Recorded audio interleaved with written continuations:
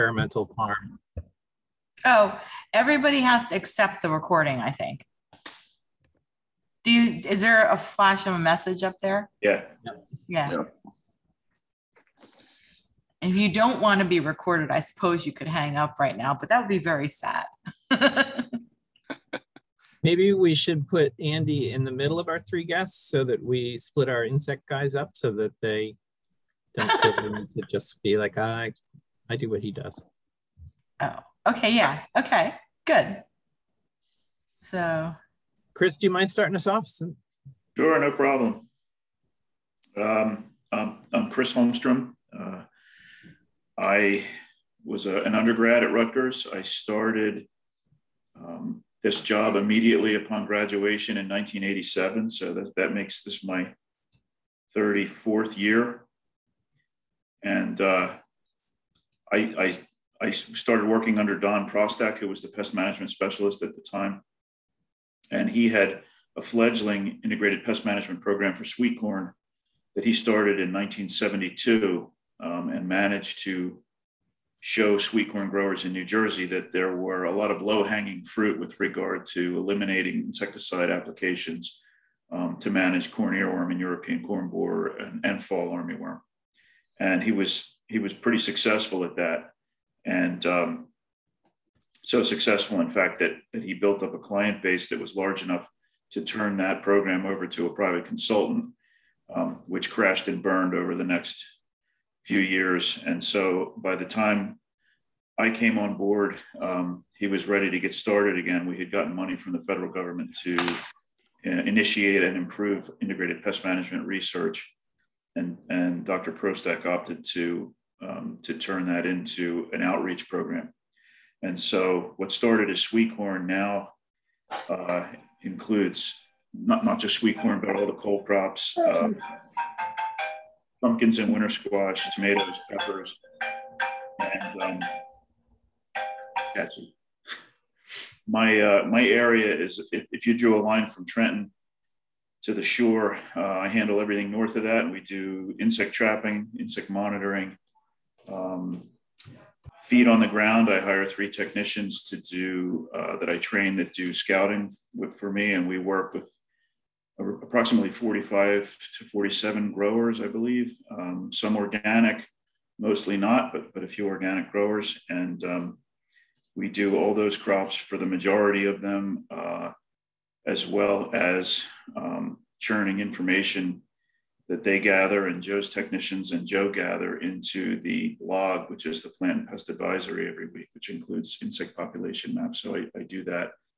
Um, I did go back to school in 99 and got my master's um, in plant pathology under Andy's predecessor, Steve Johnston, um, because I recognized that diseases were at least half the problem, definitely more than half the problem. And so work, worked very closely with Joe and Andy and uh, have enjoyed it for, for 30 plus years. Right. When you, you say that diseases are a big part of the problem, that um, insects ca- causing disease or spreading disease in, in no just if you're if you're a vegetable producer in this in this area i suppose it's true for just about anywhere um, you have insects weeds and diseases those are your three major problems um, and insects are certainly a big problem but they are in my mind more manageable than the diseases are because there are certain diseases that can put you out of business right quick um, and it's not it's not nearly that bad with insects. Um, I mean, insects are pretty fun to work with. I think Joe would, would agree. Um, unpredictable sometimes, but but they are, uh, you know, eating, moving things, and that makes them vulnerable in a lot of ways. Um, disease, path, you know, pathogens like some of the downy mildews and phytophthora and so forth are really really difficult to manage um, and, and I think take up a lot more uh, effort and time on the growers' part. How does a how does a grower begin working with you? Is there a process of application or something? No, it's it's largely uh, word of mouth. I mean, I people contact us um, ask if they can participate. I do the best I can to try and fit them in. We do have limitations in terms of, of manpower.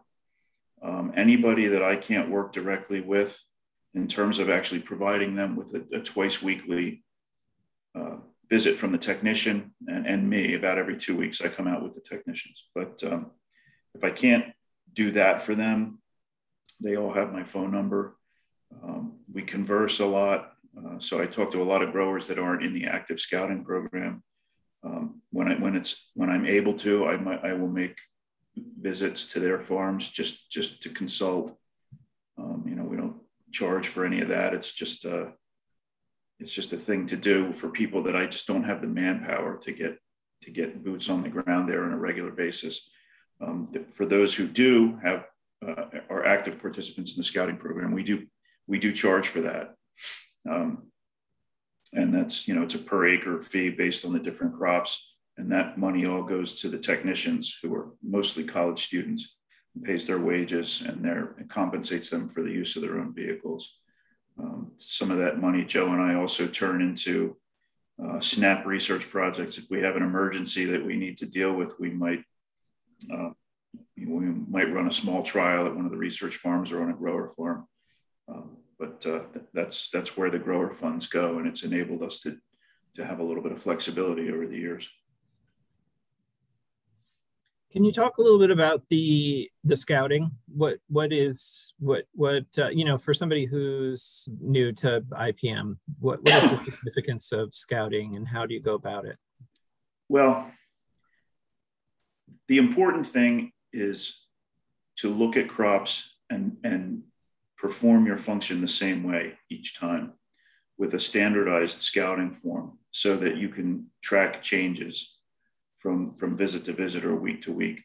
So, on a typical visit um, on, a, on a, a, farm in northern New Jersey, which, which would be a mixed vegetable operation, um, the technicians would be looking at selected plantings of field of sweet corn, sorry, not field corn, um, sweet corn based on growth stage because there might be differences in insect infestation. So they would be looking at some whorl stage, some pre-tassel stage. Um, as we get through the middle of the summer, we would start looking at seedling stage corn as well because we're concerned about fall armyworm, which could attack that, that very young stage. And they will present the grower with the findings um, in, in the form of uh, a written up scouting form, which, which provides the numbers, you know, numbers of plants infested, uh, thresholds that are associated with those infestation levels, um, and recommendations from us, not, you know, not demands, but just recommendations. Um, and then they would also look at uh, one or two tomato plantings, depending upon how many are active at that time. And there we would be looking for the major insect pests, uh, the presence of beneficial insects. Uh, we're looking for certain diseases as well. And again, there's a scouting form associated with that so that the grower can review each week uh, and see how things are changing. Uh, some things like aphids, we, we prefer to watch that population uh, until or unless they become a problem um, by depositing their droppings on developing fruit. We wouldn't want that to happen. Um, but up to that point, we can tolerate some aphids. Certain things we have low tolerance for, like spider mites, um, corn earworm, uh, infesting the fruit would be something we would have low tolerance for. Starting about a week ago, they are also including the pumpkins and winter squash as they begin to emerge because it's critically important that we look at those as they emerge. Um, most of the growers uh, who are not organic are purchasing seed that's that's pre-treated for, for cucumber beetle, but even those growers will often have mixed gourds that uh, invariably there are some in there that are not treated. And so cucumber beetle is a problem because it can vector bacterial wilt to those. And so we need to inform them right away if they have a cucumber beetle population building out there. Um, and then we go through the course of the season every week looking at those. We, we identify when powdery mildew begins uh, on those crops so that they begin their fungicide program. And we also track what the research farm, and Andy does this as well, um, cucurbit downy mildew. Uh, we, we, each have sentinel plots that are part of a larger network so that we can keep growers abreast of when the organism gets here and when it does, what races uh, are in the infestation so that they know what crops need to be protected because invariably it's a cucumber disease, and then there are certain certain years other crops are affected too. And what we hope doesn't happen is pumpkins to be infected because um, you know a typical North Jersey grower may have a half acre of cucumbers, but 30 or 40 or 50 or more acres of pumpkins. And so there's a big difference in terms of insecticide, or I'm sorry, fungicide applications. So they need to know the difference uh, in the races, which we can do for them. and so this happens twice a week. Insect survey traps are checked each visit. Uh, we, we derive uh, spray schedules for sweet corn in the silking stage from the catches we make of corn earworm. Uh, European corn borer catches help us focus our scouting activities in corn. And, uh, you know, it's, it's, a, it's a busy day for the kids. They, um, they spend a good long day each day out there working with their, their group of growers. And I, I make I make daily visits with the with the technicians as well. So uh, I have three. I spend one full day a week with each of them, uh, and then one day on the farm and one day to put out brush fires. Sentinel quads. What's that? Um, Sentinel plot, and Andy can expand on oh, this. Plot. Is that a plot? I'm it's sorry. A, a, plot. Andy has Andy has one. I, I have one in, in, North Jersey, but for cucurbit downy mildew, it's a it's a plot that contains uh, cucumbers, muskmelons, watermelons, acorn squash, butternut squash, kabocha, and then I throw a few other things in there too. So I have um, jack o' lanterns, and I have a second cucumber variety that has some resistance to downy mildew. And so we plant them and we do not treat them with fungicides. Uh, the idea being that we, we want to know exactly when downy mildew, the downy mildew organism shows up in our area, and when it does, which crops among those that we have in the sentinel are being infected, because that, that can really provide the information that growers need to limit fungicide applications. So they only apply fungicides to what they need to we learned about this from Andy last time he was talking talking to us. So that's really interesting. So you're planting a plot with all these different varieties of squash, and my understanding is that the different races of the downy mildew will only affect one particular type of squash. So you're able to identify. Andy. Well, there, there's there's actually two groups or clades they call them, clade one and clade two. One clade uh, predominantly only infects uh, cucumbers and cantaloupes, melons, and then the other group or clade will infect all the other cucurbit hosts. So right now in New Jersey, we, we have found uh, cucumber downy mildew on cucumber, uh, which she first identified on June 16th. And then about five days later, on June 21st, I think, we found it on cantaloupe. And that's what we would expect because that clade primarily infects those two crops. Uh, what's interesting now is that out at the farm today is he has a whole field of cucumbers, cantaloupes, squashes, and melons, you know, right next to each other, same field, just different blocks. And, and the only two crops that were infected uh, as of today, we're, we're, still just the cucumbers and, and the cantaloupes. All right. So what what that tells us is that if you're a cucumber or, or cantaloupe grower in the state, you, you need to apply fungicides to help control downy mildew on those two crops. Uh, if you're growing pumpkins and, and summer squash and other things, you can wait because the pathogen, you know, that primarily affects those cucumber crops isn't present in the state. And as Chris said, we, we don't want growers to spray uh, fungicides when they don't have to. So it, it's a it's a bit of a warning system, and then just kind of helps us make recommendations because we you know uh, we don't want to put out a we don't want every cucurbit grower in the state you know growing every different crop to, spray if they don't have to. And it's basically it, it's it, it's a money saving thing and fungicide saving thing, unnecessary sprays or, or something we, we, we try to avoid.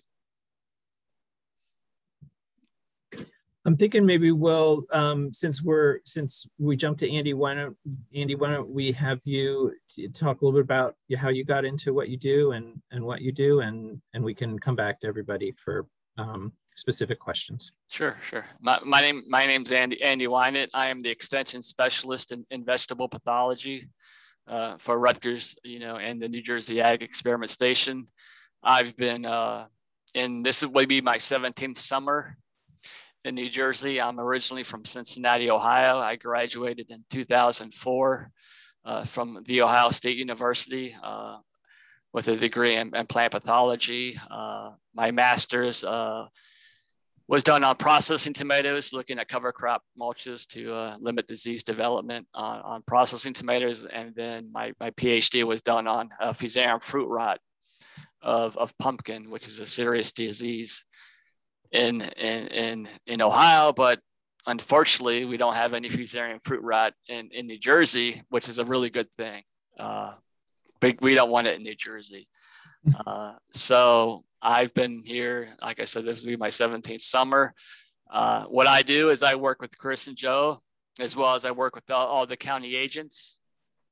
And if a grower has a particular problem uh, with a disease, uh, they'll reach out to the county agents or, or, someone like Joe or Chris if it's an, if it's a bug question.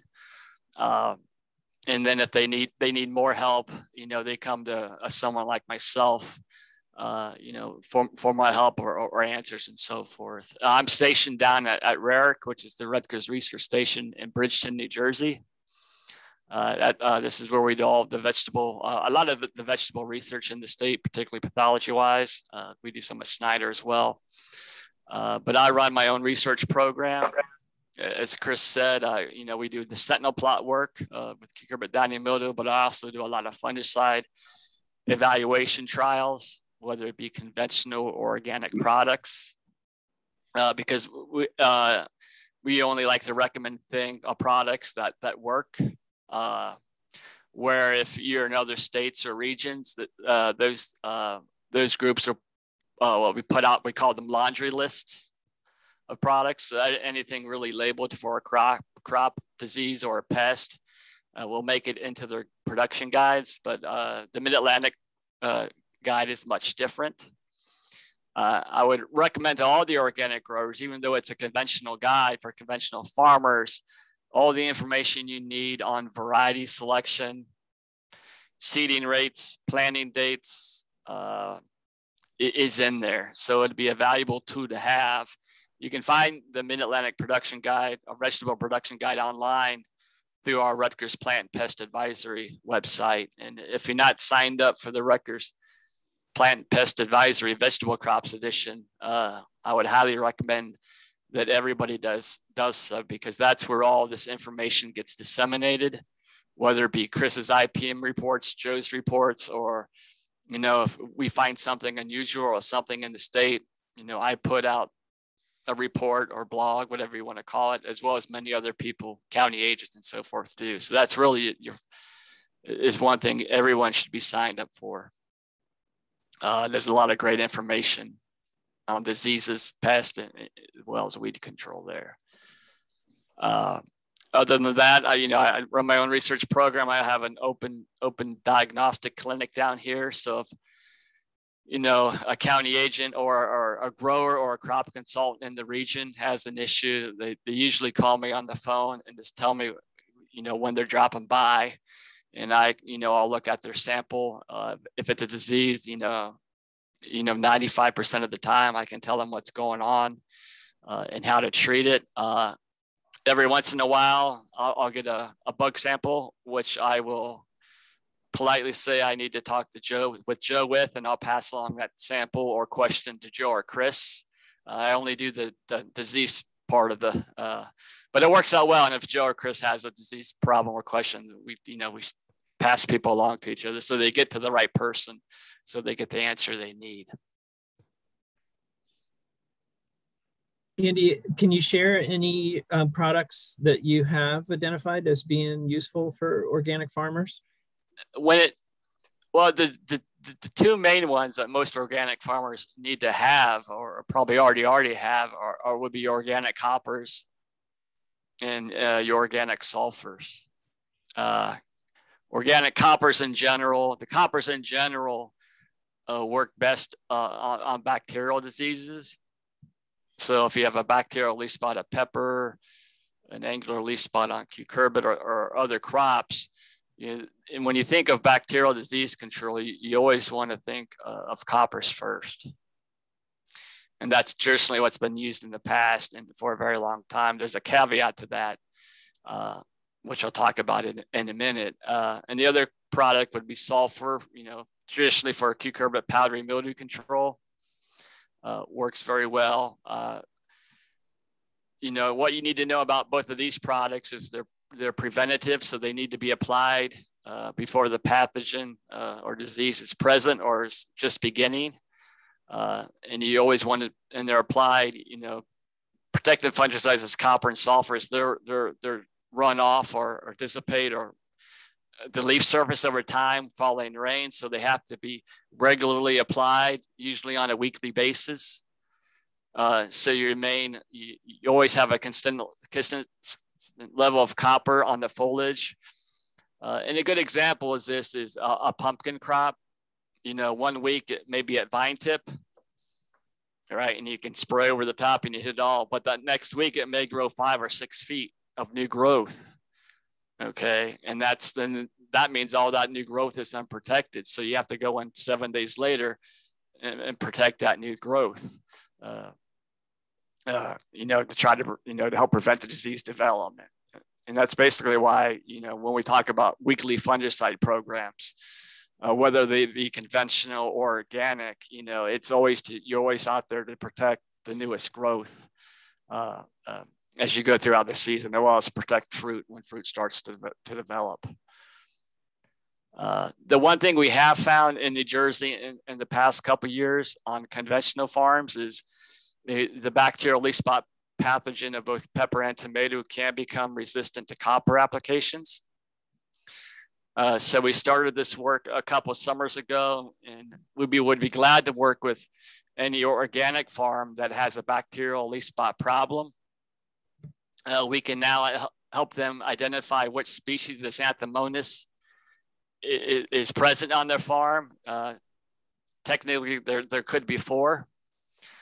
Uh, but more importantly, we, we, can run a test, and I work with Dr. Don Kobayashi and, and his team up on campus.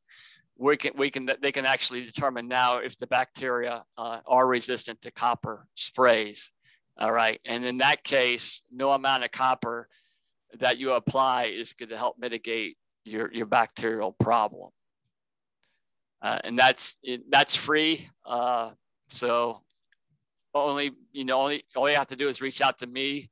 Uh, Chris has been doing some scouting in North Jersey for me. Uh, I've been looking around down here, and other county agents are, are helping out. So if if if you've been organic growers been heavily involved in spraying coppers over X number of years, and they don't feel like their copper is working anymore, much like on a conventional farm. You know, they need to reach out to us. We can come out and collect samples, uh, get them to campus, and we can uh, determine what species are present and whether copper resistance is present on that farm. Because again, you know, organic growers don't need to be spraying any more copper than anybody else. And if the, the copper is not going to work, uh, there's no need, uh, no need to spray it. Can you talk about some other uh, organic strategies? I know you were talk you were um, talking previously about um, the importance of rotating cucurbit crops to you know to avoid yeah certain diseases, yes. And, and, by far, you know, if you're organic con- grower, you're one of the best ways you can mitigate disease development is have a really good crop rotation. And, and that means not putting, you know, similar crops in the same spot every single summer. All right. And certain pathogens can, can uh, infect different crops. So as Chris mentioned earlier, the phytophthora blight uh, which we see uh, endemic in, in, in, most of South Jersey. Uh, not only can it infect peppers and non-bell peppers, but it can also infect eggplant, uh, tomatoes, as well as all the cucurbit crops.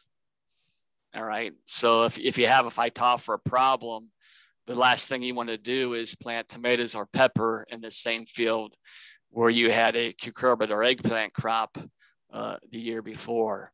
Uh, and you know, phytophthora is by far the most economically damaging or most economically important pathogen in, in, in the state uh, these days. It, causes tremendous amount of, of losses and, uh, and you, you don't want it in your operation if you can avoid it.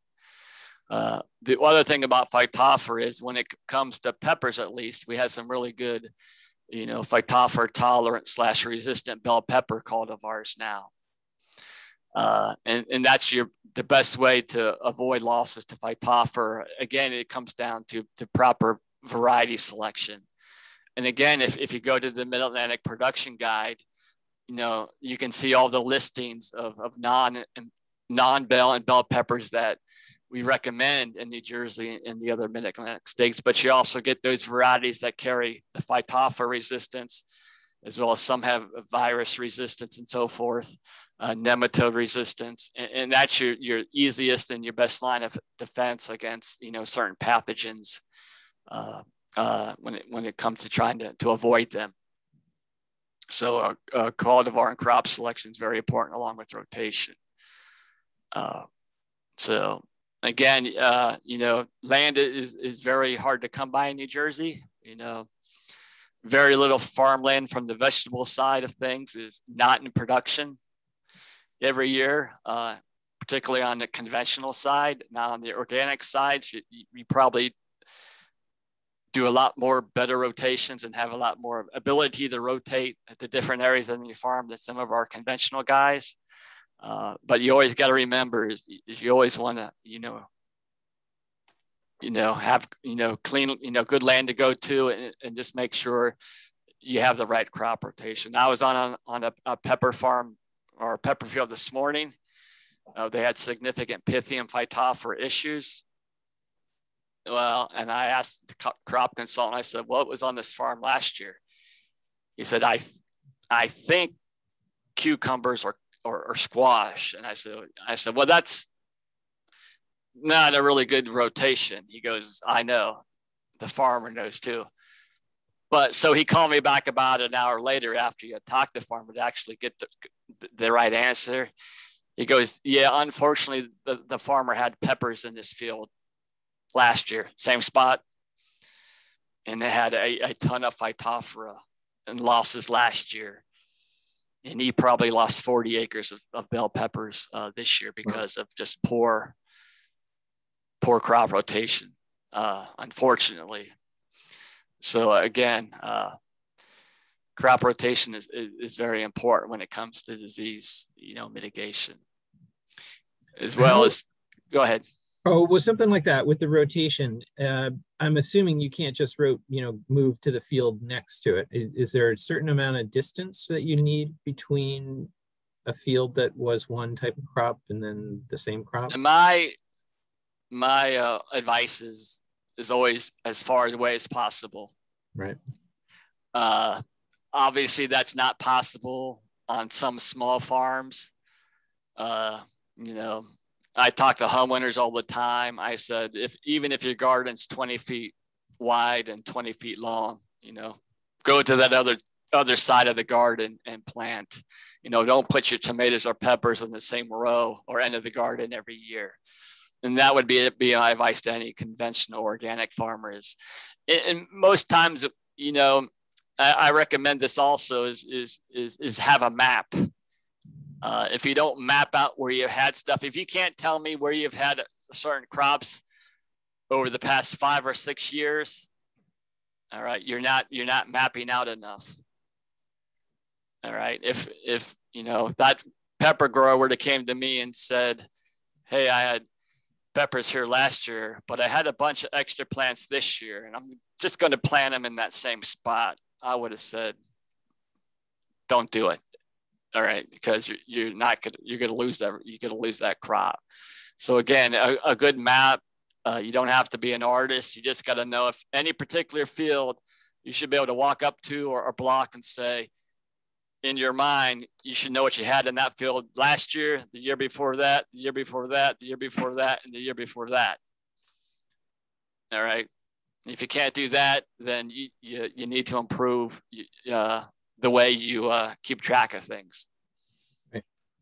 You know, one or two years isn't going to be a, enough for, for most pathogens, particularly the soil-borne pathogens. So you, you want to you be out of a, a, certain crop for as long as possible.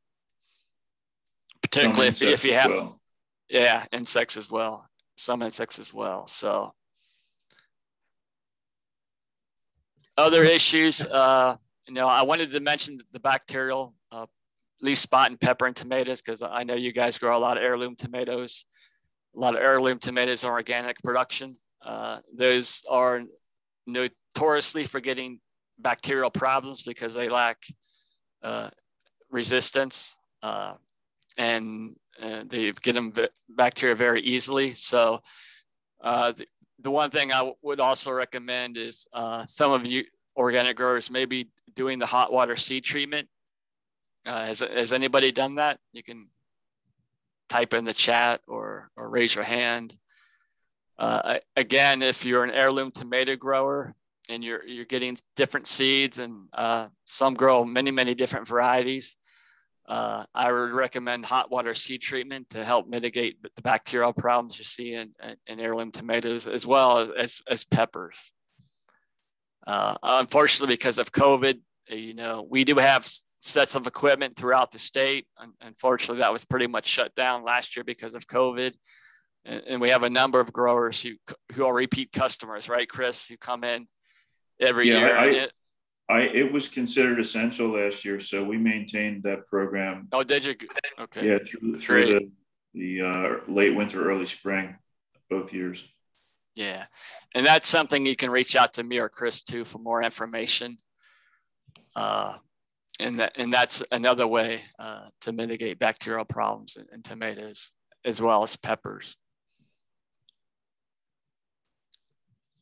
I just want to jump back to what you where you started when you were talking about um, your your research at Ohio State, where you were working with tomatoes and and cover cropping. Mm-hmm. Um, that was that sounded pretty interesting. Is that something that you found was effective? Yeah. So uh, the one issue, major issue that you pick pumpkin growers have in the state of Ohio is that they all grow pumpkins in the same spot on their farm every year because it's the closest to the farm market. Mm-hmm. It's the easiest access to, uh, the, customers and so forth. Well, uh, after years and years of doing this, uh, Fusarium pathogen uh, uh, got into to, into most those fields, and I there wasn't a, a, field I could not find pumpkin field in Ohio that was a U-pick operation or retail that did not have fusarium fruit rot problems. That's how, how bad it was. And unfortunately, the, the pathogen survives in the soil for a very long time. And you really can't control it with conventional fungicides because uh, the, the pumpkin lays on the soil surface, the fruit infects, the pathogen infects the fruit on the belly of, of the pumpkin. All right, that's in direct contact with the soil. So it's nearly impossible to get any sort of fungicide down to that side of the fruit. All right, so they were at a loss. So our, the one of the things I did is I, I looked at different types of cover crop mulch, uh, spring oats, uh, winter rye, hairy vetch, uh, some living mulches, which did not work at all. And the whole idea of these mulches is that we would kill them, or in some cases, let them living on the soil surface and we would roll them down. So the mulch would act as a physical barrier. A lot of you probably do this already. So if, if we plant a rye and a vetch in, in, in the fall in Ohio, we can kill it and, you know, or kill it either chemically or kill it by undercutting or just rolling it down in May. You know, we can let it dry and down, dry down, and they would no-till pumpkins through the mulch. Um, and then as the fruit developed later on in the summer, the fruit would lie in direct contact with the mulch and not touch the soil. So the dead mulch would lie on the soil surface and prevent the pathogen spores from being splashed up or coming in direct contact with the fruit. And that's, you know, one way growers, uh, you know, we, we figured out if growers were desperate to, to continue to grow pumpkins in the same field every year, they would have to adopt some sort of mulch bait system. And, and, the best was really rye and hairy vetch because it provided the most amount of biomass. You really want a, a thick layer of mulch, four, five, six inches thick. That's so it's tough. there. So it's there, you know, the, the rest of the summer. Uh, you know, some of you growing tomatoes or you may, may just buy straws of bale, you know, straw bales and break them up and just put them under the plant that you're not staking. Uh, that's what I did as a young person. Uh, we didn't stake tomatoes on the on the small farm I worked on. We just mulched all of our tomatoes. So the plant and then the fruit development would rely on the mulch and not the soil surface later on in the season. And the mulch helps, you know, tamp down weeds as well as help maintain a, a, a good level of soil moisture through the growing season. So there's other benefits of mulch uh, beyond, you know, potential disease reduction.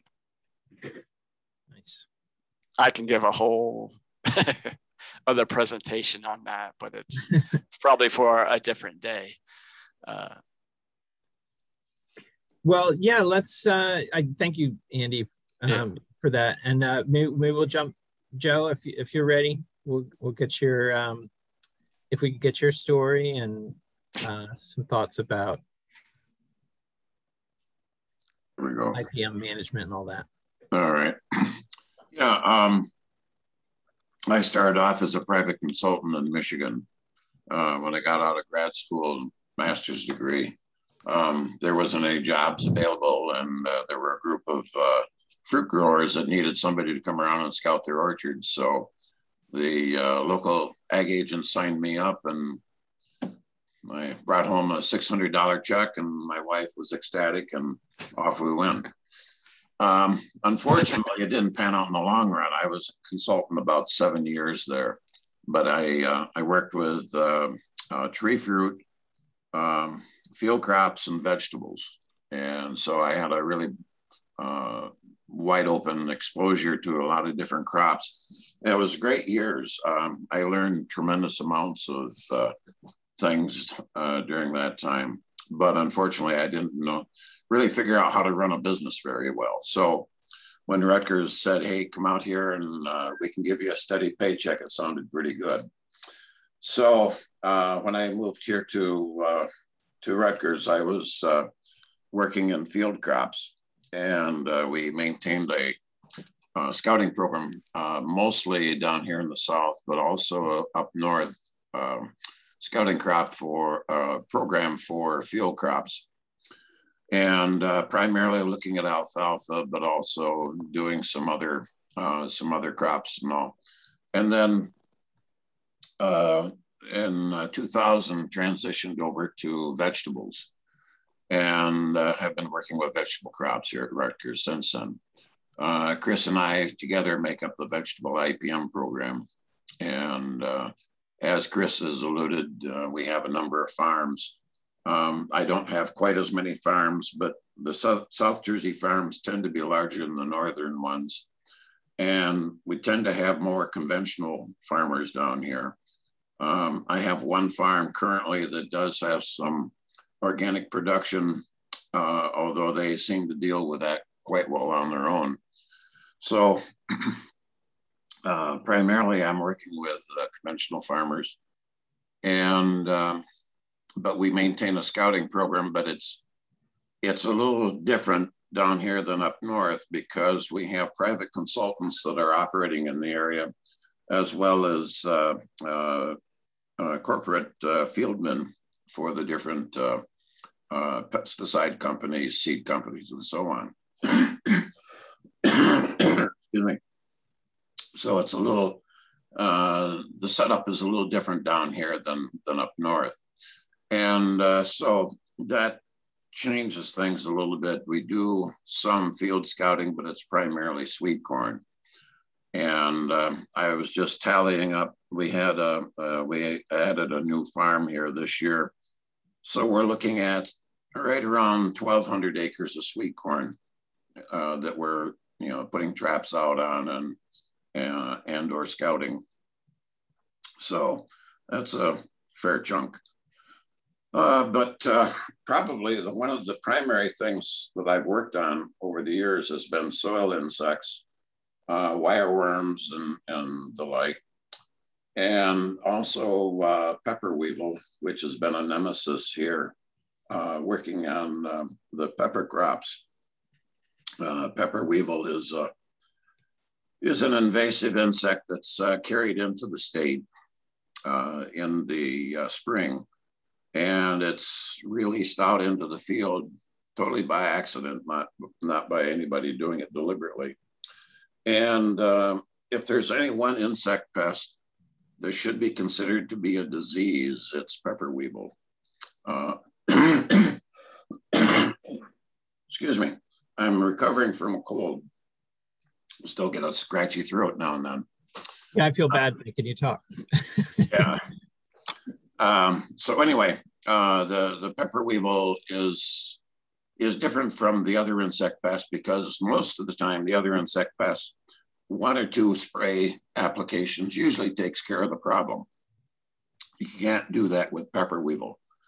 Uh, once you have pepper weevil infestation in the field, it's a race between you and the weevil to see who's going to get the last pepper. And uh, we have we have uh, we've had farms where they've abandoned the pepper fields uh, because the weevils just overtake everything. So, um, so in general, that's that's kind of where where how I fit into the picture. I interact with Andy as uh, as he mentioned before, and Chris uh, we try to deal with pest problems as they come up. And um, we're always watching for, uh, for new problems. Um, and we also do a lot of cooperation out of state. So uh, we're involved with um, uh, Mid-Atlantic uh, researchers in both entomology and, and pathology. Can you talk a little bit about wireworms? I know I've really struggled with them. Certainly, they are interestingly been one of my worst pests with sweet corn. I first got introduced to them when I was working in South Jersey, and uh, our sweet corn crop just got infested with them. Can you talk a little bit? Tell us a little bit about white wireworm life cycle and how they, how you yeah. might control them. Yeah, um, they've been considered to be a pest sorry, dog came in. Uh, they've been uh, considered to be a pest for over 100 years. And yet we know very little about the biology of the wireworms. There's, uh, there's five species here in New Jersey that uh, can cause problems with sweet corn, but the predominant one is uh, one called Melanotus communis. And uh, communis is probably responsible for somewhere around 90, 95% of the wireworm damage. And um, it's, a, uh, it's a very common insect. It shows up in our blacklight traps uh, during midsummer. Uh, they can be quite abundant at times. And uh, they have a, uh, an annual flight in the, in the summer uh, the, the melanotus adults are brown color. They're the click beetles. They put them on the back and wait a second or two and they click and hop up. So they're fun to play with as adults, but, uh, uh, but the, the larvae are very resilient insects. Um, studies have been done to see what insecticide uh, that conventional farmers could use to manage them. And uh, one extensive study that was done out in the Northwest showed that there was only one insecticide that apparently could kill wireworms. All the rest of them merely made them sick. And the one that could kill them took 120 days to do it. So they're tough critters to deal with. Um, there's, yeah, um, the Melanotus communis uh, may have a life cycle in the soil where the larvae in the soil anywhere from two to maybe six years. Nobody really knows for sure. Wow. And once you have a field that's infested with wireworms, it's going to stay infested. Um, there are fields that uh, when I really started getting into studying them uh, back in the 90s, uh, there were fields that had been indicated as uh, being infested with wireworms maybe eight, ten years earlier. Go back to those same fields, put out traps, and yeah, there's the wireworms are still there and crop damaging numbers. So uh, the biggest thing is to keep track of where do you, where do you get wireworm damage? Um, is there a particular field? Is there a particular section of a field where you get damage? If you do, you kind of uh, you need to plant things there that the wireworms do not like. For example, the sweet corn.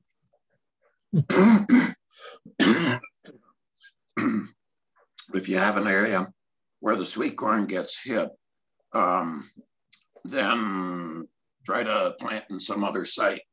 Eh, one, one researcher said that uh, wireworms are the herpes of the insect world because you can have a field that's infested, has crop damaging levels of wireworms there, and nothing will happen.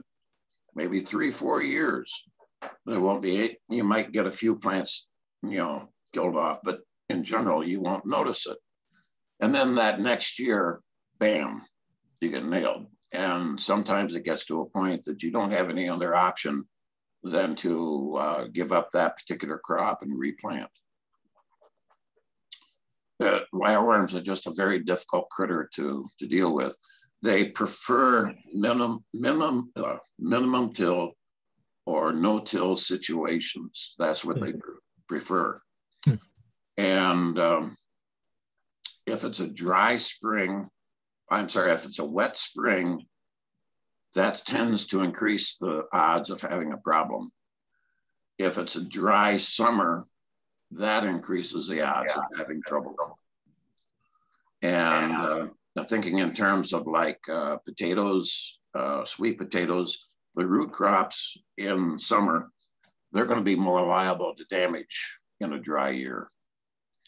So uh, otherwise, the wireworms haven't read any of the literature. They sort of show up whenever they feel like they, they need to. Um, it's interesting, they're primarily predators. And so I asked uh, a wireworm specialist, well, what's the deal then? Why are they attacking plants? He said, no, they're stressed. Well, New Jersey is a good place to get stressed. So maybe that's the answer. I don't know. But um, stress reductions programs. Yes, yes. Um, probably the best thing that you can do uh, organically against wireworms, if you if you're unfortunately having a field that is infested, till it up as frequently as possible. Make life miserable for the the wireworms. Um, as you have a tractor, uh, field equipment going across the field, and you'll see a flock of birds coming along behind they're after the, the wire worms, the white grubs, and so on. So the more you can work up the soil, uh, keep them moving, uh, make it make it tough for them. That's probably one of the best things you can do to minimize them. Thanks. Folks, anybody uh, that's visiting and listening to these uh, experts telling their story, if anybody has any questions, uh, now is a great time to um, just unmute yourself. yeah, I have a question. Yeah.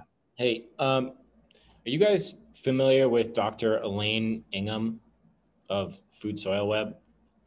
She talks a lot about balancing microbial and fungal activity in the soil and how by planting perennial cover crops alongside more robust crops, you can avoid rotating crops as frequently to continue benefiting the naturally occurring symbiosis between whatever fungal activity or microbial activity is existing between your cash crop and what's in the soil. So an example would be planting brassicas year on year in a single area because brassicas are known to break up fungal mycorrhizal networks, but handle some microbial activity really well with the benefit being that year after year, that microbial synergy with those brassicas over time would build a much stronger synergy.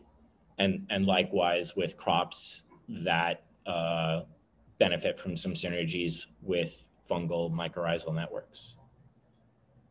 So I guess the question is uh, uh, managing mycorrhizal so, so, fungi. No, because the the common practice and and part of what organic tries to push is crop rotation. I practice it. Right. But I only have two acres in production. I'm a small farm. Mm-hmm. And when we're talking about my tomato fields, we're talking about like 4,000 square feet. And preferably that's undercover and I don't have unlimited space to have all of my tomato fields undercover. And there's only so much new compost I can put into that space year after year before I have a mountain, like a literal mountain, not a figurative mountain. So at a certain point, I can't keep putting compost there. And or I have to do it in such limited quantities over time. So basically, like if I want to grow my tomatoes structurally and systemically, in my system how I want to grow them with a lower and lean system in a covered space, which is preferable for the tomatoes so I can get them in early, yada, yada. I am trying to figure out ways where I don't have to rotate as often. And I'm trying to understand the implications of doing or not doing that. And, and Elaine Ingham is someone I found who advocates for not doing it, which I thought was interesting and I and I think she's uh, advocating like sort of very managed mixes of compost teas, right? I mean, is that is that what you're getting at? Is the no, we were... she's she's getting at the fact that certain crops like brassicas interact with the soil in a particular way, and prefer not to have heavy levels of fungal activity prefer not to have heavy levels of mycorrhizal networks involved in the soil in which they're growing. That's a general, uh, a general uh, thing. So, and vice versa with other crop groups. And her point is that if you're rotating crop groups like brassicas after cucurbits, after alliums, after nightshades, to try to get away from all of these things that I think most of us who are organic farmers um, and our three presenters have talked about, learned about, become impassioned about because we've heard of all of these stories of any number of soil-borne fungal or pest or whatever disease that rotating helps deplete the ability of those diseases or pathogens to proliferate. But um, her whole thesis is that you're doing the wrong thing because if you're rotating something that likes no mycorrhizal after something that wants a lot of mycorrhizal, then its interaction with the soil throughout its lifetime is going to be antithetical to the, the crop before it and after it, if it's in the example I'm using. And I'm sorry to keep it so broad and like. No, I, I mean, I think I think the uh, if if I can take a little uh, initiative here, Jared, and, and, and spin it a little bit to ask our guests to talk about, um, you know, the increasing talk about mycorrhizal fungi in soil and the relevance to agricultural systems. Is that is that a fair avenue to pursue? Sure. It's not the question, but yeah, we can talk about that. What type of soil do you have? Is it sandy? Sandy loam, 71% sandy loam uh, for the first 18 inches. Pretty pretty lucky. What's your organic matter? Uh, my last test was a year ago. I haven't tested again, but we started two years ago. On a, it's very different uh, across the fields, but on average, it was about 2.4, 2.5, and in 2019, in 2020, it was on average about 6.5, and I'd assume now it's closer to seven, eight and hopefully around nine by the end of the year. What, wow. What what are you doing to raise the organic matter that quickly? Compost. What hmm. what what type of compost? Um, I have an organic mushroom grower who I work with, so I take all of his mushroom blocks and I use that in my compost, and then I used Vermont compost, like a lot of it, and then some local New Jersey compost, and all of. I, I mean, I just I pay premiums for the highest quality stuff and it shows. And then I fertigate with Neptune's harvest and have a pretty serious regimen of uh, amendments that all go into it. So tons of humic acid went into the field last year, a um, couple hundred pounds over the two acres um, to, to jumpstart that. Uh, tons of uh, micronutrients via azomite and kelp meal. Um, I use alfalfa meal as well. Uh, and then um, I also ranged my chickens, my broiler chickens, over cover crop uh, everywhere um, I was gearing up to plant through the first year. Just, just, uh, uh, I'm, I'm really not into mycorrhizae. I, I know the more that you have, the better the plant. But from what you're describing, um, it's amazing that you don't have cabbages that are, you know, 40 pound heads and so on. I mean, it sounds like you're pumping up the soil with just, you know, enormous amounts of nutrients. Yeah, do you have a complete soil test? Uh, again, I, I had complete soil tests from last year. I'd be happy to share them with you. But yeah, sure. What what sort of levels? I'm sorry. What what sort of levels are you seeing for potassium? Um, oh, uh, let me go look. Uh, they're off the charts. Basically, I was told um, like, please don't add more than you have to. Uh, and I said, I won't add more than I have to because it costs me a lot to add more. Um, yeah, so before my test, so in 2019, in in the South Field, which is where my tomatoes are now, I had 340 phosphorus, 55 potassium, 104 magnesium, and 588 calcium. And we're slightly boron deficient across the board, so I use Solubor. Um, and I don't know, that's sorry, I may have a bad baseline because I didn't test that field again until this year. Um, yeah, yeah, your nutrient levels sound fine. Uh, I I would agree. If you want to save some money, stop adding stuff.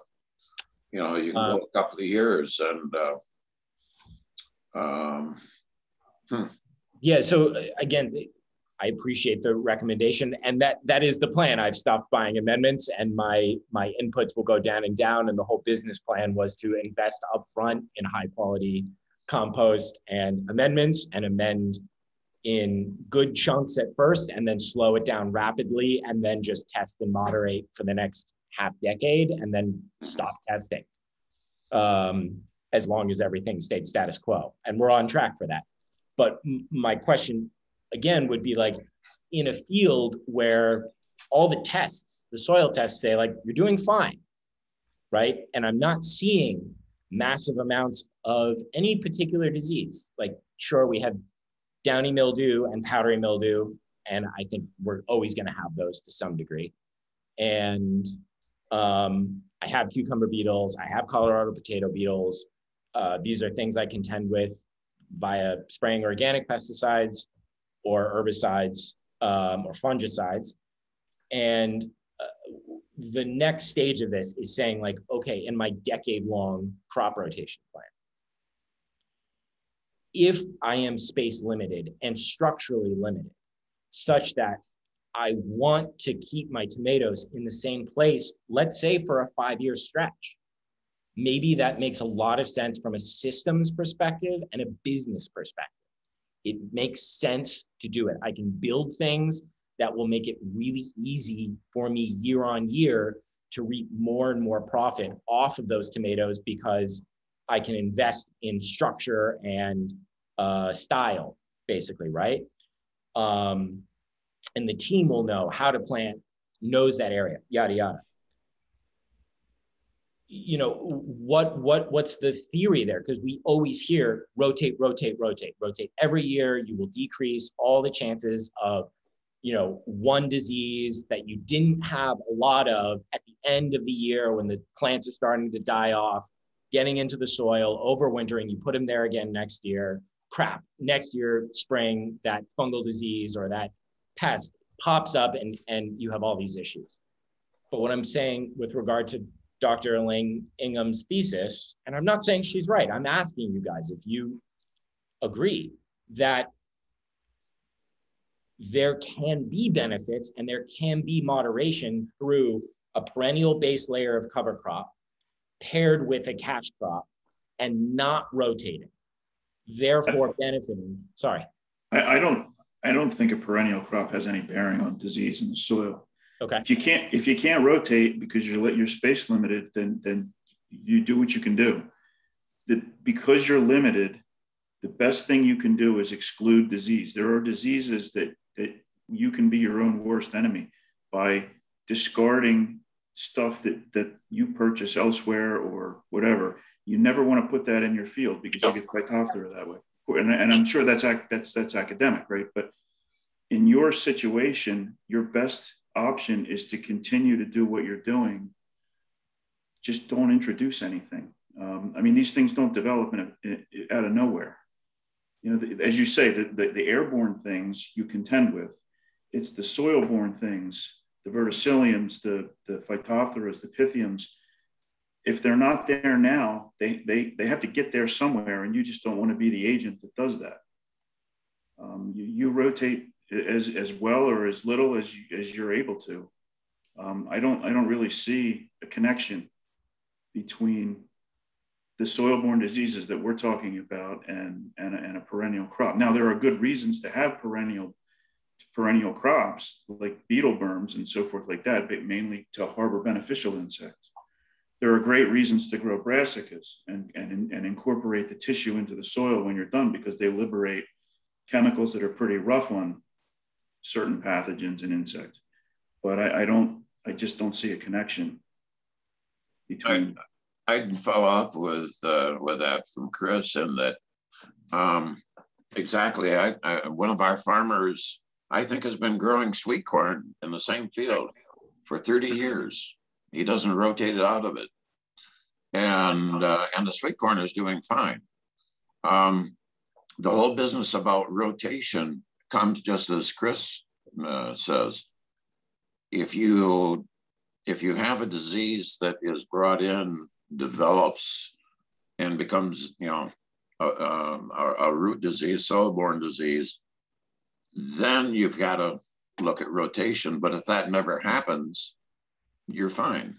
And um, and the guy that's that's been raising the sweet corn in this field for 30 years, year after year after year, gets great crop and crops of sweet corn out of it. So, as Chris suggested, if it if it's working, don't change it. Okay, cool. Thank you. What's a beetle berm? Was it who is it, Joe? Is it from Michigan? It's Michigan State, right? Uh, Doug uh, Landis. Doug Landis, yes. Yeah. So it's it's the idea that you you set aside portions, strips in particular, in your fields um, perhaps raised up a little bit, and you plant perennial uh, plants in there, a mixture. And I, am sure there's a there's a recipe for this, but I mean a, a mixture of flowering plants that are perennials and some shrub-like things, and it stays there in perpetuity. And what that does is provide habitat um, for things like carabid beetles, which would be predatory, or you know, certain things like that that can range from the berm out into the field and clean up some things for you. But but not not just that, the flowering plants, which which our boss, Dr. Uh, George Hamilton, has done some extensive work on. Um, flowering plants of, of a certain type or certain types are very attractive to predators and parasites that are very adept at eating insect eggs uh, or parasitizing things like aphids. Um, and so those, those, those insects require alternate carbohydrate and protein sources, which would be the pollen and the, and the nectar from some of these flowering plants. You encourage the adults to be in the area and then they go into the crops to seek prey for their young or you know, place to reproduce. So um, it's, a, it's a pretty, it's a pretty well established um, way of thinking anyway. But, uh, that's how Have you seen that uh, being applied in New Jersey? Um, I have some growers that uh, they'll they'll plant some of those flowering plants nearby. I even have one grower that will uh, skip every you know every tenth cabbage plant and fill the hole with alyssum. Uh, you know to have those flowers there available. But uh, generally, what we tell people is it's not a bad idea ever to put your dill, uh, your your cilantro, near your vegetable crops and allow some of it to go to flower. Um, buckwheat's never a bad idea if you need something to fill in space near a field. Um, these things encourage some of the some of the right insects to come in. We also tell people that you know there's no reason to kill weeds if they're not in your field, right? Because weeds flower too, and wild carrots a great attractor of, uh, or Queen Anne's lace is a great attractor of some beneficial insects. So um, if they're in flower and you don't need to mess with them, leave them be.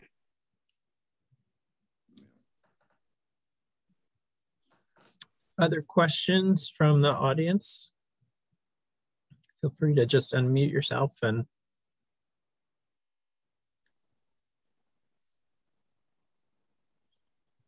Um, I mean, I guess. I'm sorry. Is, do you have a question? Yeah, I'm really worried. I have like these little kind of it's they're only in the back of my garden bed, but I have like these little white specks. I I I think they're fungus, but I'm not 100 confident enough.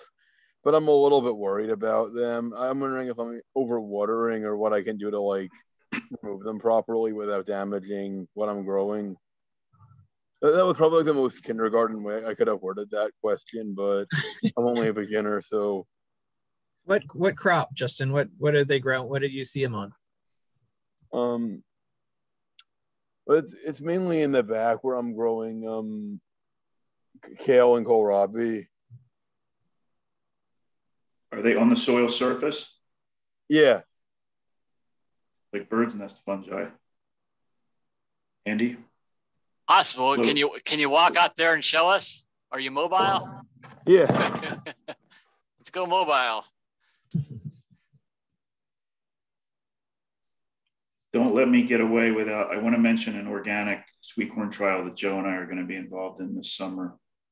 Um, but I don't want to interrupt yeah, what's going on now. But I don't want to miss yeah. it either. RQC.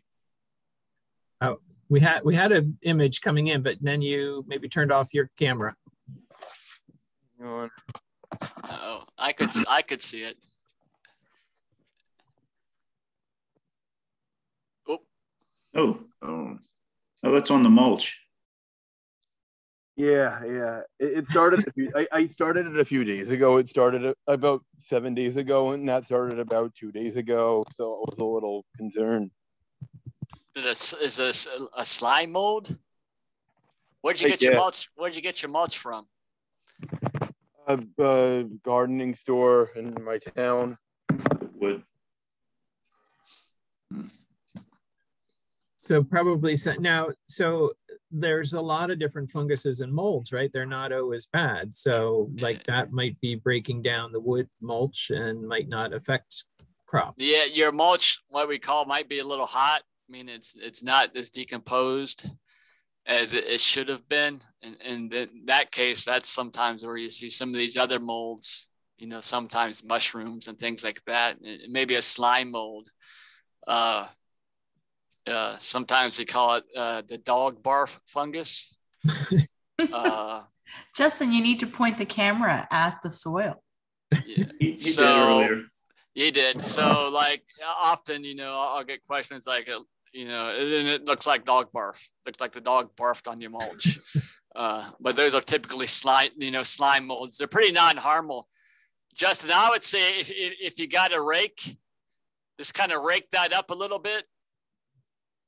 Uh, okay. With this hot weather and that, uh, you know, it'd probably just disappear on its own. Just rake okay. that ra- around a little bit with a, your, a little hand rake or a little shovel or something, and it'll probably just dry up and, and disappear on its own. But okay. it's, it's most likely, you know, from the mulch you put down on the soil surface there to. We've got a question uh, in the chat. Jumping worms? I've never heard of jumping worms. Is, is that a problem in New Jersey? Amen. It's a problem in my yard they're, they're awful things. I can't picture a jumping worm. It looks like it's a regular earthworm. They're just they, they live in the top two inches of the soil. They degrade mulch rapidly, um, and they are they they wriggle violently when they're exposed to. You, know, you, you, sweep the you sweep the mulch away, but they uh, their castings are not clumpy like nor like our you know our endemic earthworm, earthworms. They are very granular and uh, and separate. And so what you get between your mulch layer and the soil surface is this ever increasing layer of what um, worm people refer to as like coffee ground style uh, droppings. And what, what, what, does, what it does is it causes the soil to not hold water well, not retain water well. Uh, and of course, it, it, leaches nutrients more readily. Um, I have had these things push out seedlings. Wow. Uh, they're they're they're a, they're a complete mess. Um, um, and we had a we had a Joe Joe invited a speaker from I think it was Vermont. Joe. Yeah. Um, uh, who, who, had done some research on them. Um, he's he's very concerned about their effect on forests and. But our concern is that is they might be in, in imported, you know, if you if you import um, you know municipal leaves or something that you might you might bring them to your farm and it's a serious concern yeah. Uh, this fellow didn't have a didn't have a strong opinion on whether they would be problematic for for agriculture or not. But just thinking about um, people like uh, Justin and, and other people that have smaller areas, backyard areas where they're trying to do organic growing, uh, I could see where jump, jumping worms might become a, a real problem. So the question I see is can they get them from anything brought onto the farm? I think your main concerns are going to be leaf litter. Um, if you if you're a farmer that in, that in, in incorporates municipal leaves, uh, or possibly mulch, and I'm thinking about mulch that's bought in bulk, uh, which I suspect is how we have it in my neighborhood. Um, neighbors used a landscaper who brought in mulch in a, in a dump truck, and uh, within a couple of years, they were in that side of the yard. And now I, am amazed at how fast they got to the other side of the house. Uh, and they they are um, they're they're they're a problem. Um, I'm not sure what to do about it, other than just just I sweep the mulch aside every once in a while and chuck them in the street and make the robins happy. I, I don't know what else to do really. They uh, uh, they have a very rapid uh, life cycle. They um, they only live about a year. They lay one batch of eggs in the fall. The eggs hatch out in the spring, and um, they're very prolific. So you can go from just a few to very large numbers in a single year, and that's what that's what makes them bad. Especially they uh, they will tend to crowd out the the endemic earthworms, and uh, like Chris is saying, you wind up with coffee grounds. I think uh, I think we want to uh, maybe Chris, if you want to tell us a little bit about the trial that you mentioned, uh, the sweet corn trial, and then maybe we'll, we'll, wrap up with any questions and and let you guys go. Yeah, this this is uh, something that that I've been interested in a while because um, it, the the organic spinosyn uh, Entrust has really put sweet corn production within reach um, for organic farmers with regard to earworm control in particular because um, for those of you who are frustrated by the fact that your, your organic customers are, are, are no less, or should say, no more tolerant of, of earworms in, in the corn than, nor, than, uh, than conventional customers are, um, that can be pretty frustrating. But Entrust is, is an exceptional material for that. The problem is you can only use it twice in succession. And, and if you're trying to grow sweet corn uh, in, this, in the second half of the summer, um, in order to effectively keep that, that those ears earworm free, you're really looking at a, a schedule that's going to require you to treat every four days, probably at a minimum, sometimes every three days.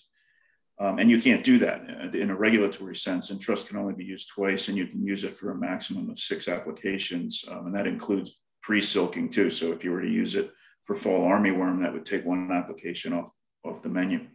So the question then is what to do to uh, space in alternate materials that have some efficacy against corn earworm to make this, this situation manageable.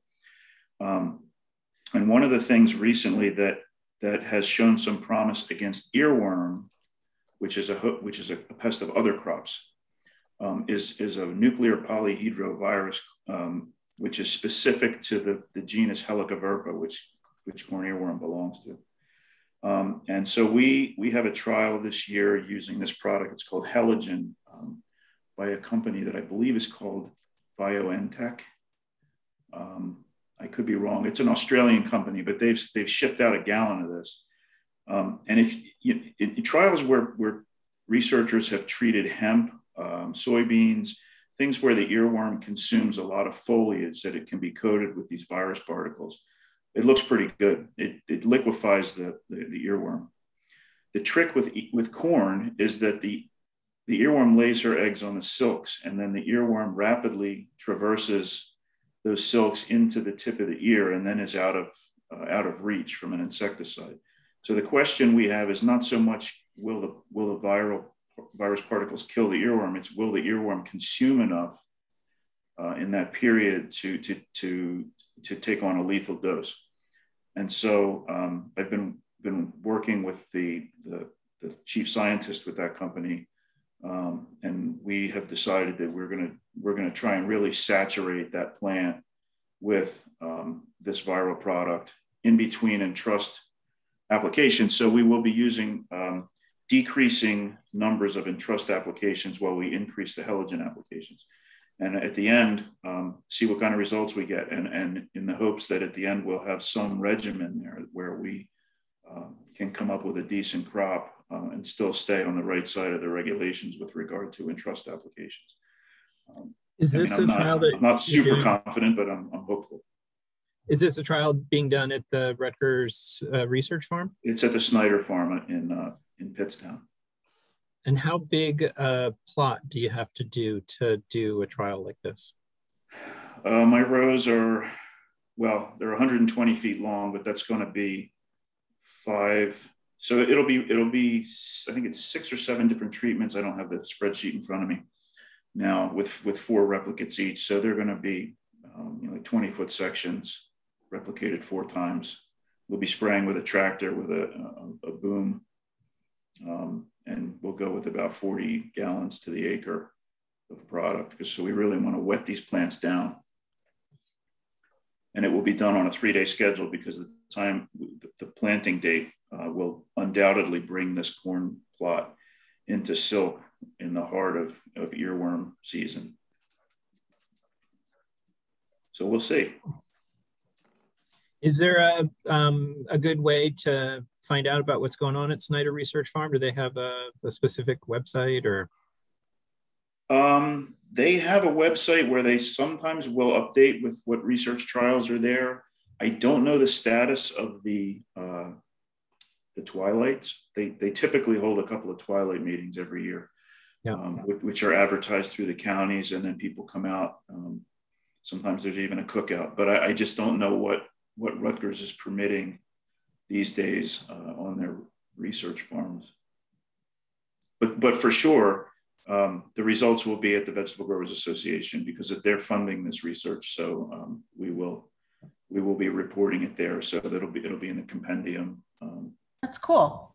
Yeah, I mean, obviously, all the organic farmers that do um, vegetable production try and get some sweet corn in there, and I'm sure there are a lot of farmers that'd be very interested we might even think about if you have interesting learning we should um we should probably do a little session when you get the learning we can push the information out to people.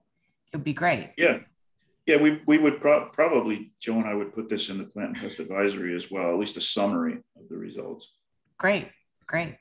Thank you very much for mentioning that. Yeah i basically want to give you guys the last word. If you have anything um, new diseases, new insects, um, or things that have been effectively controlled?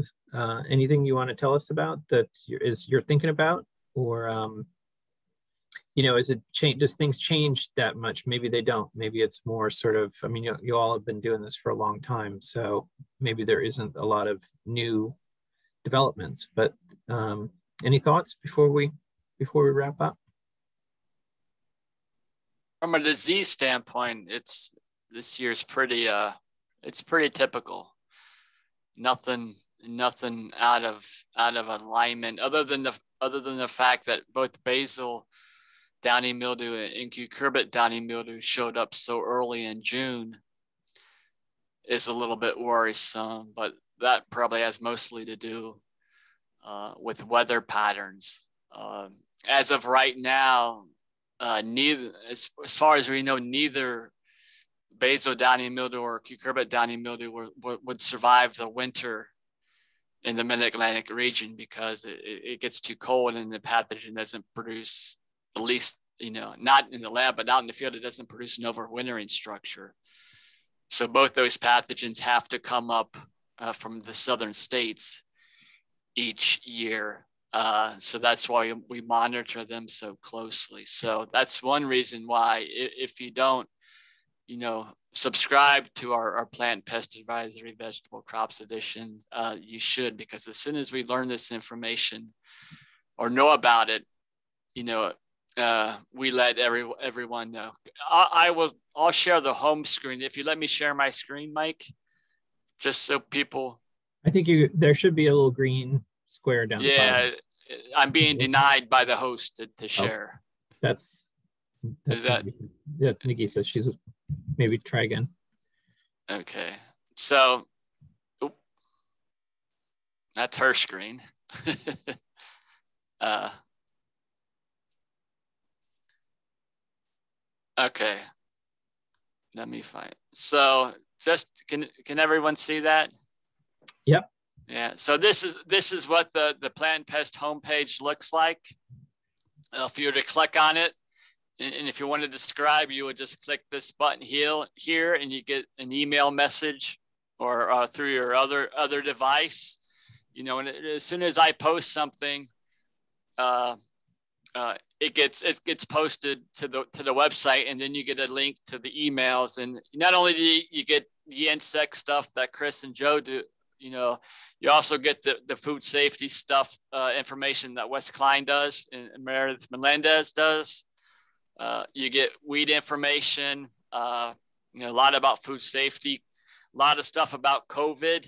If you're having people on your on your operation or if you run a CSA, uh, and it's just a, a, lot of information. So here, this is just an our report last week. Uh, just I do this weekly, just on things that are pathogens that are active in the state. So uh, these are things growers should be looking for, or, or at least scouting for and you can see, you know, we got the cucumber downy mildew, you know, from the 16th. Uh, obviously, if you're a cucumber grower, this is what uh, you, you want to look for to see if you had cucumber downy mildew, as well as just other information. Awesome. Uh, again, none of it's, you know, some of it may not be directly related to organic production, but all the, you guys are going to have the same insect and disease issues that any other grower are going to have. Uh, and then more importantly, as I said earlier, if you're you're interested in, in, in certain variety types and what we recommend, uh, you know, growing in New Jersey, uh, this is our, our, our plant pest advisory recommendations. And for example, if we just click on, you know, summer squash here, you know, from a, you can print the whole guide out or print it out by section. Again, the, the variety recommendations are here again, and you have to remember that all the all the the breeding for uh, vegetable diseases that's all done, you know, you know through natural sources. So none of this is our GMO crops. But again, if you're looking to grow summer squash and you're looking to control or limit your losses to, you know, the five important viruses that affect summer squash, you know, you might think about growing Conqueror, Conqueror 3, which has resistance to our, our two most prevalent viruses. Again, and you can just use this information to, to make your cultivar selections based on disease resistance as well as uh, insect resistance uh, for some of these crops. So it's, it's a valuable resource for you guys. Yeah. Uh, just the plant pest as well as the, the, again, and that's free. And you can get it in hard copy form uh, from your county office. But again, you can also get it free uh, online here, so it doesn't cost you a thing. Thank you for pulling that up. Yeah. That is a very powerful resource. All right. I uh, I really want to thank you guys for taking the time to come talk to us and tell us about what you're doing. And um, I hope you don't get too hot out there. I hope things will mild, get a little bit milder. Keep our fingers crossed. Yeah, my my my phone line is always open. Uh, so you can you know, I get calls quite a bit. So if you have questions, you can easiest way to reach me is via cell phone. Great. And well, I'll give you my uh oh, that's 60 609. I'm not giving you the wrong cell phone on. No, it's 609. So again, or email me uh, uh, at, at my Rutgers, and that's easiest way to get reach me this time of year. Yeah, Andy, you sent that direct to me. Oh, I'm sorry. Joe, you already have my phone number. All yes, right. I do. All right, all right, guys. I I'm serious this time. Yeah, so we've got our resources, the plant and pest advisory website definitely any grower in New Jersey should be aware of that. We've got the Mid-Atlantic Production Guide, which is uh, also a very good resource. And then um, Chris mentioned the Vegetable Growers Association. Is that the convention in Atlantic yeah, City? The, yeah, the annual meeting, which is uh, has been in February the last couple of years. Mm -hmm. um, but in the plant and pest advisory, whether it's Andy's um, disease updates uh, or whether it's Joe and, and my uh, vegetable IPM update, we will often put links in there um, to sources of information that we think are important. One of the ones that shows up all the time is the cucurbit downy mildew forecast site, which is just phenomenal. Um, NEWA is another one, which is a, a, weather system, a weather station network um, coordinated by Cornell. That will be in the newsletter occasionally if you can you can use that to model um, for predicting emergence of certain things like onion maggot, cabbage maggot. Um, so it's all it's all good stuff. We uh, we don't just report on what we're seeing here, but we report on how you can find uh, up to date information from other sources as well. Nice. All right. Well, uh, thank you again. And um, Nagisa, anything before we sign off? No, just thank you very much for your time, guys. Really helped a lot. And uh, I think everyone really, really appreciate the resources. Yeah. Hey, thanks, you. guys. Thank you. Thank you. Always Have fun. a great night. Good night. Happy Good night, everybody. July. Thank you. Hopefully Bye. it'll be cooler. Yes. Bye, guys. Bye-bye.